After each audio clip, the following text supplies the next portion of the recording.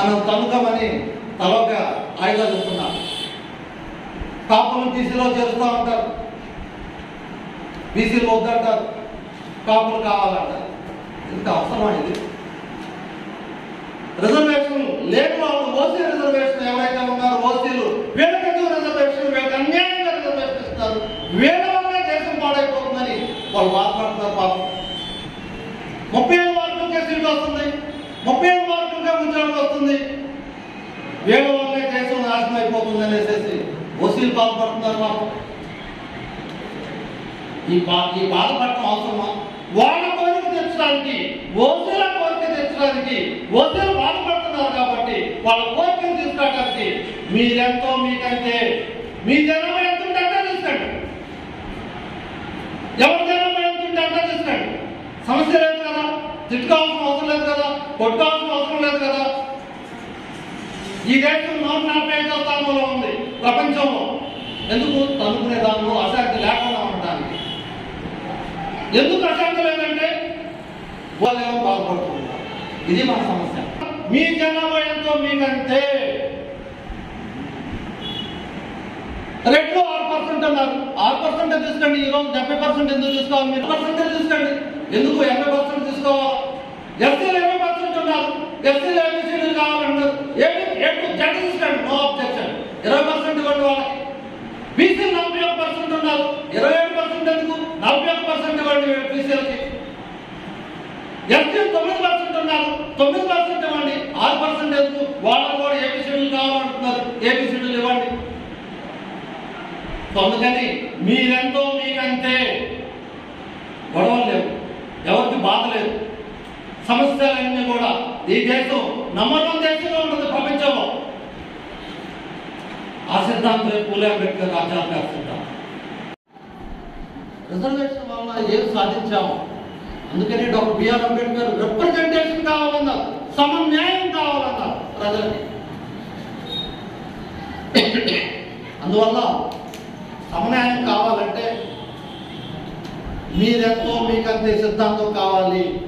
ఈ సిద్ధాంతం కనుక వస్తే ఓసీలు ఎవరు కూడా బాధపడరు ఒక తల్లి చిన్నపిల్ల టీడీపీ నాయకులు అడిగింది జనసేన నాయకులు అడిగింది వైసీపీ నాయకులు అడిగింది. వాళ్ళు సమాధానం చెప్పింది ఏదో చెప్పుకొచ్చారు. నేను సమాధానం చెప్తాను రిజర్వేషన్ ఎంప్లాయీగా రిజర్వేషన్ ఎంజాయ్ చేస్తున్నా.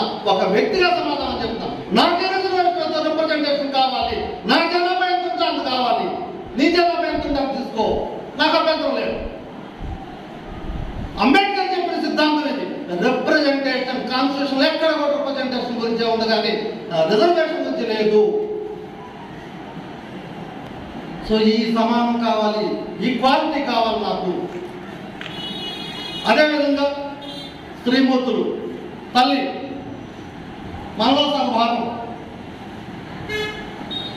వారికి ఎంత జనాభా ఉంటే అంత రిప్రజెంటేషన్ కావాలి రిజర్వేషన్ కాదు రిప్రజెంటేషన్ కావాలి. ఈ దేశంలో ఫిఫ్టీ పర్సెంట్ ఉన్నారు స్త్రీలు.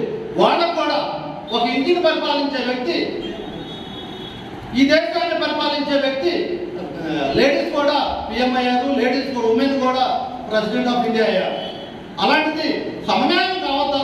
వాళ్ళకు కూడా సమన్యాయం కావాలి. అదేవిధంగా అంబేద్కర్ సూత్రీకరించిన సమన్యాయ సిద్ధాంతంతో ఈ దేశంలో అత్యధిక జనాభా ఉన్నది ఎవరైనా అంటే బీసీలు మాత్రమే. సో బీసీలు కనుక సీఎం అయితే ఎందుకు సీఎం అవ్వాలి?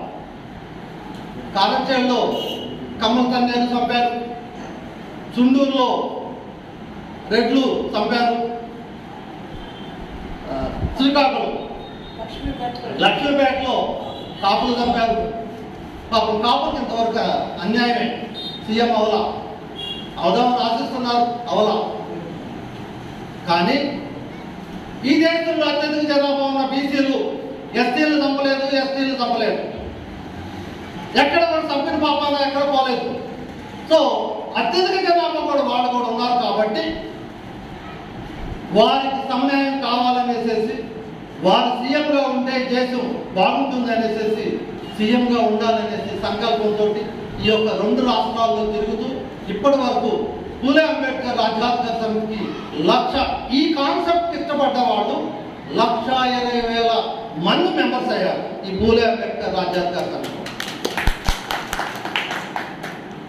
అదేవిధంగా ఇక్కడ వీరిని ఎలా కమిటీ మెంబర్గా పెట్టామో అసెంబ్లీకి ఇన్ఛార్జ్గా పెట్టామో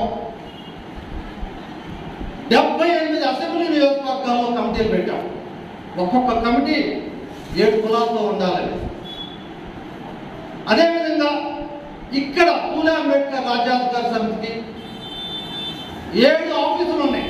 విజయవాడలో అప్పారావు యాదవ్ గారు మెయింటైన్ చేస్తున్నారు. వైజాగ్లో మేడం గారు ఆఫీస్ మెయింటైన్ చేస్తున్నారు. నంద్యాలలో నంద్యాల కాదు. నందిగామలో ఆఫీస్ ఉంది. బాపట్లో పార్లమెంట్ ఆఫీస్ ఉంది. గుంటూరు పార్లమెంట్ ఆఫీస్ ఉంది. ఇట్లా ఆల్మోస్ట్ ఏడు ఆఫీసులు ఉన్నాయి. అంటే ఇంతవరకు పార్టీ రాలేదు ఏడు ఆఫీసులు ఉన్నాయి. పార్టీ లేదు లక్ష ఇరవై వేల మంది మెంబర్స్ ఉన్నారు. స్నేహ గ్రూప్ మొత్తానికి ఐదు లక్షల యాభై వేల మంది ఉంది వాళ్ళందరూ మెంబర్స్ అవ్వలేదు. వాళ్ళ తర్వాత వస్తాం. ముందు స్నేహ గ్రూప్లో లేని వాళ్ళని మెంబర్స్గా చేసుకుందాం. ఈ కాన్సెప్ట్ ఇష్టపడ్డ వాళ్ళని మేమందరం వస్తాం.